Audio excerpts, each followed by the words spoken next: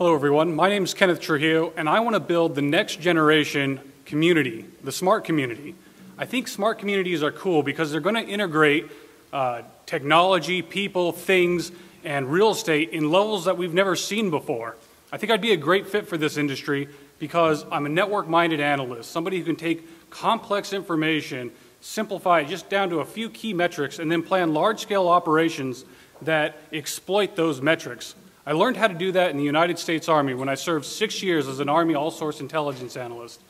I was the analyst that was in charge of understanding enemy networks, how, they, how their relations worked, how their movements worked, and their strategies. And I would come up with a way with the command group on how to target that network in an effective and lasting manner. I was also the person that information all flowed to.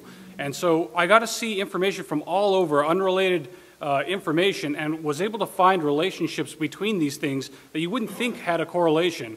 I think smart communities are going to tie us together in that same manner, that we're going to learn more about our society just from all this information gathering being put together in one place. Well, anyway, when I got out of the, uh, out of the military, I, I, went to work for a fiber optic company right out, of, uh, uh, right out of college. I went to the University of Colorado, got a degree in operations in real estate. And what I did with that degree is I started to build uh, uh, fiber optic networks for tech companies, data companies, and, uh, and the cellular networks. And what I saw was that these companies, these tech companies, see a future where we're going to be very tied together through fiber optics, information sharing. And they see all this technology, such as the Internet of Things, autonomous cars, fifth generation LTE, and fiber to the home.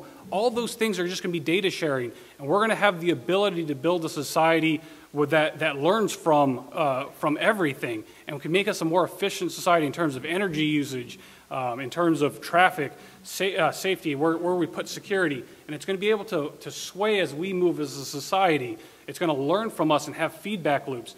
Those are kind of projects that I would like to work on. If you guys are, have any projects that are pioneering that front, I would love to be a part of that. Uh, thank you for your time. My name is Kenneth Trujillo, and where I prefer to work is in the not so distant future. Thank you.